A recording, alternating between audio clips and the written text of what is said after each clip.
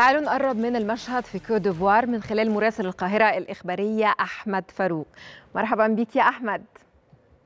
أحمد قول لنا إيه الأجواء عندك بعد نتائج مباريات اليوم خصوصا يعني خسارة منتخب تونس المفاجئة أمام ناميبيا؟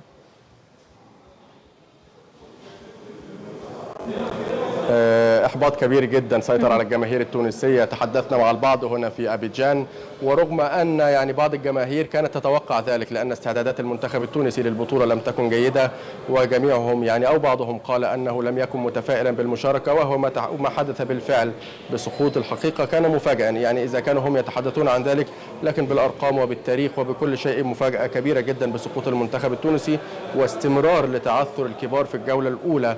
من كأس الأمم الأفريقية 2023 مفاجآت بالجملة لم ينجو من الكبار سوى كوديفوار أصحاب الأرض والسنغال. كل المنتخبات الكبرى تعثرت والمغرب طبعا ينتظر أن يبدأ مشواره غدا. عشنا أيضا أجواء جنونية مع جماهير بوركينا فاسو وجماهير باني وجماهير مالي. جماهير بوركينا طبعا بعد الفوز عصرا وجماهير مالي منذ دقائق بعد الفوز على جنوب أفريقيا. دول غرب أفريقيا القريبة من كوديفوار تتواجد طبعا جاليات كبيرة جدا وجماهير تأتي بسهولة إلى كوديفوار وبالتالي أعدادهم كبيرة جدا ويصنعون الحدث إلى جانب طبعا الجماهير الإيفوارية كانت ليلة مميزة طبعا ليست على المنتخب التونسي لكن في البطولة كانت ليلة مميزة جدا جدا على الصعيد الجماهيري تحديدا يعني. ده سؤال آخر يعني أنت قريب من منتخب مصر قطعا قول لنا كواليس معسكر المنتخب خاصة بعد التعادل مع موزمبيق.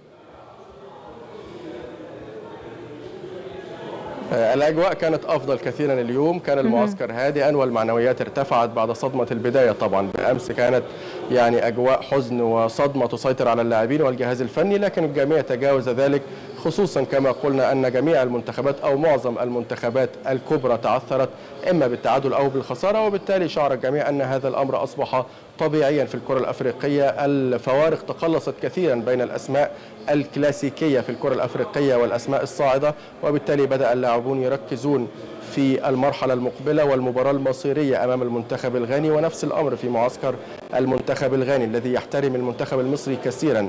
وكل نجومه كانت يعني تصريحاتهم فيما يتعلق بالمنتخب المصري أنه منتخب قوي ويدركون أهمية ذلك أهمية الاستعداد جيدا لمواجهة المنتخب المصري.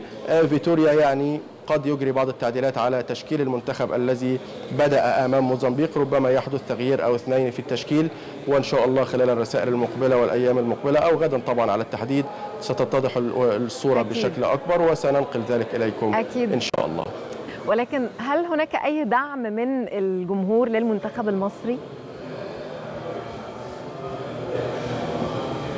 هناك دعم كبير طبعا. الاعداد أعداد المصريين في المباراة الأولى لم تكن كبيرة للأمانة يعني كان بضع مئات ولكنهم يعني صنعوا اجواء مميزة. لكن ما عوض ذلك هي حالة الحب للمنتخب المصري هنا في أبيجان. الجماهير الايفواريه تحترم المنتخب المصري جدا وتحبه كثيرا رغم أن المنتخب المصري يعني تاريخيا تسبب في آلام كثيرة للايفواريين تاريخ منتخب مصر أمام كوديفوار في كأس الأمم الأفريقية تفوق كاسح لمصر حتى عندما كانت كوديفوار تمتلك أفضل أجيالها تاريخيا.